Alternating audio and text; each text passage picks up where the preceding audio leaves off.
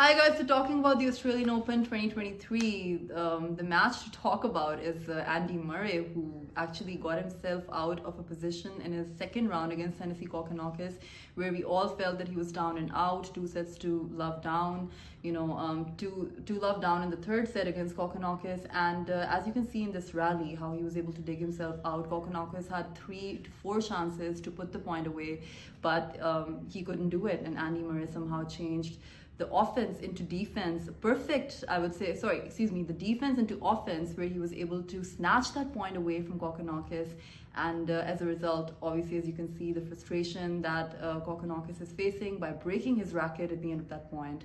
And uh, you know hats off to Andy Murray for actually winning that match in the end in five sets in that marathon. Um, you know and the next match that he's going to face is against Roberto Bautista Agut, who's a very solid Spaniard. He's solid from the baseline. He doesn't miss the ball.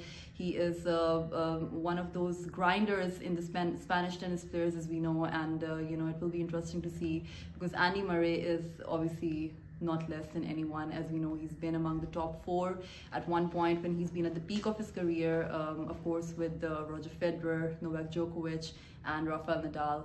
And it will be interesting to see how he competes in his next round against Roberto Bautista Agut. So guys, like, subscribe, comment, and share my YouTube channel and tell me what you think about today's video.